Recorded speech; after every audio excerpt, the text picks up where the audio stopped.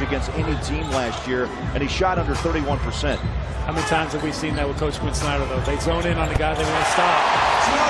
And he makes it work, but this three-point shot now starting to click in for the Jazz. Trio rebounds. And He's this got is where you got to go. front. Because look how slow they are in defensive transition. Three, up, bang! Absolutely. Jingle and Joe from downtown. Jingle and Joe front court. Pepe's on the floor. Ingles throws it to the corner. Sefolosha up and in. Thabo from downtown. When Gobert comes back, his minutes are going to go down again.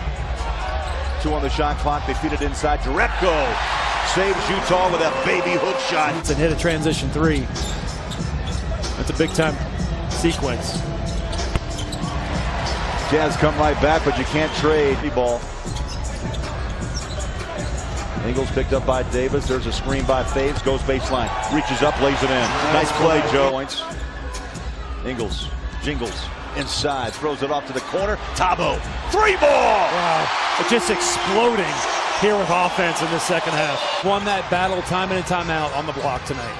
Ingles skips it inside. D Faves. Inside. Count it.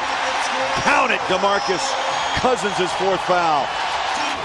Momentum shifting back toward the Jazz. He's in the restricted area. Good call by the ref and good concentration from Faves.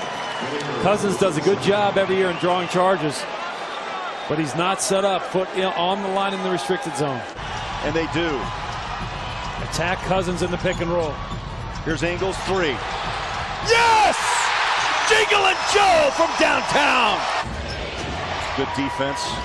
They shut it out, force the outside shot more. There's a steal. Joe Ingles reached in.